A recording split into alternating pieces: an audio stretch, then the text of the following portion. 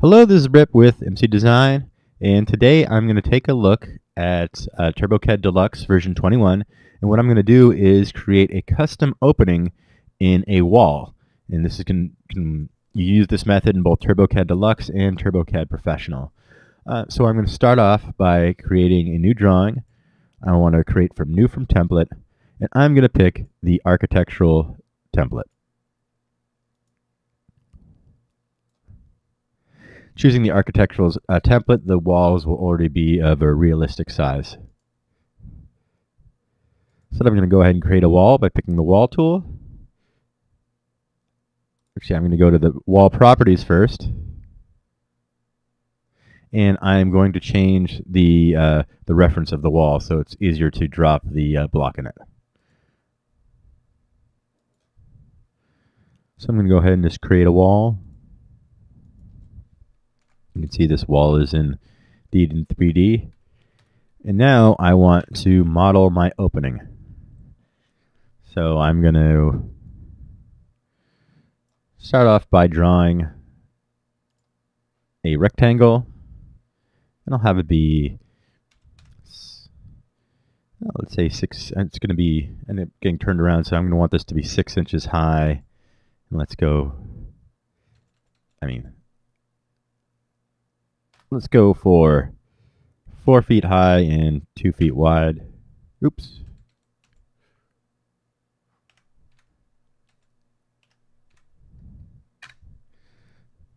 All right, and then I'm going to draw another rectangle inside it.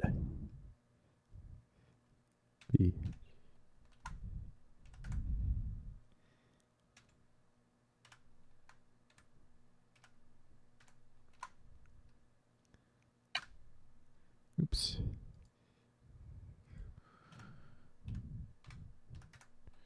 So I'm going to go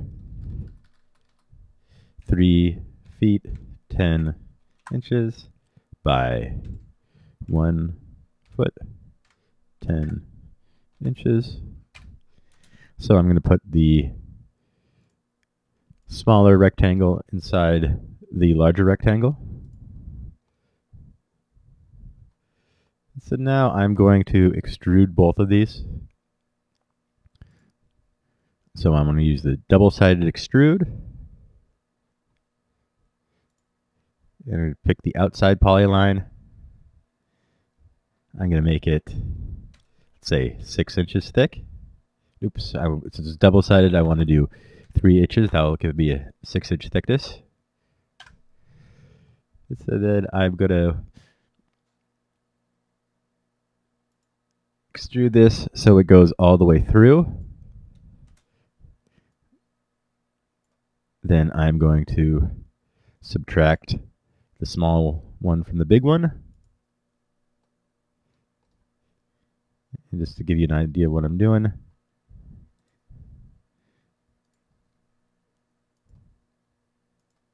I'll do a rendering real quick. You can see this goes all the way through.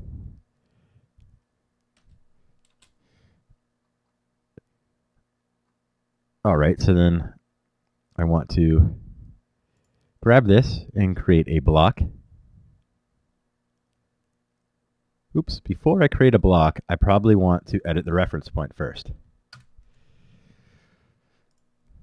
So how I'm going to do that is I want the this to end up two feet high on the wall. So I'll just draw a line going two feet down from the middle. Then I'm going to select the, the, uh, the box that I've made, relocate the reference point, snap it to this uh, line that I created, and then I'm going to create a block. I'm name the block opening.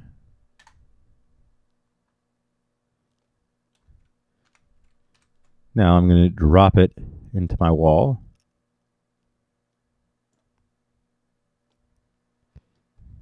That did not exactly turn out how I wanted it, huh?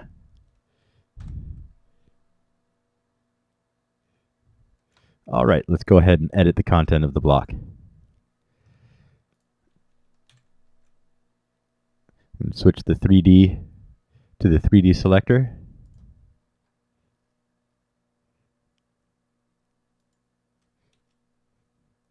Yeah. So I want to rotate this.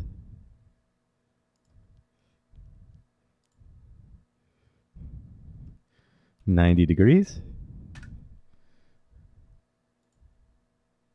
And voila, I have an opening in a wall.